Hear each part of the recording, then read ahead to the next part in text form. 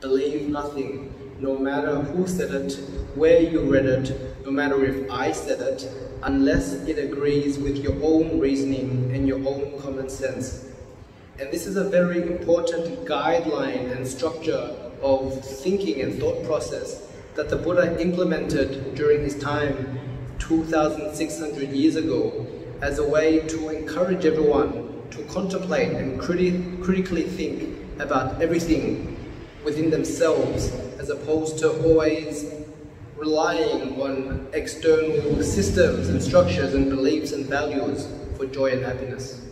And I think this is very important because everyone ultimately has a different truth.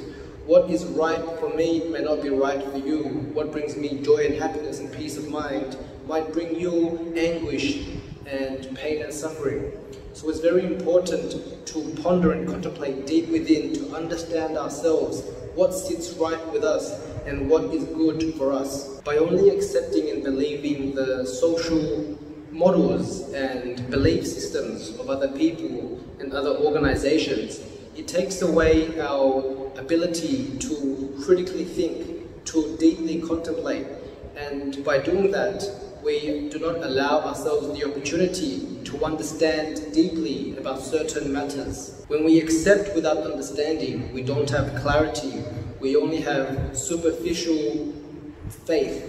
But when we have deep clarity through understanding, insight, knowledge and wisdom, then everything we do is free from doubt. Everything we do is very clear from within. And if we have that conviction from within, that self-confidence, then the thoughts and opinions and criticism and judgment of other people won't sway us, won't instill doubt in us, because we are very clear on what is happening to us. Once again, the Buddha said to believe nothing, no matter who said it, where you read it, no matter if I said it, unless it agrees with your own reasoning and your own common sense. Despite being a revered leader of his time, he heavily encouraged independent thinking so that we have to contemplate, understand and develop insight into the things that we abide by as opposed to just blindly following something because someone said it. And if we are merely blindly following the rules of others and the systems of others,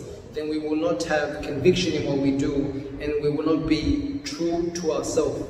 I really hope that we can all develop independent thinking. We can all accept only the things that sits right with us so that we can develop our own truths, understand ourselves deep within, and eventually abide in deep peace harmony and joy from within. Thanks again for watching everyone, and I'll see you again in tomorrow's video. Namaste.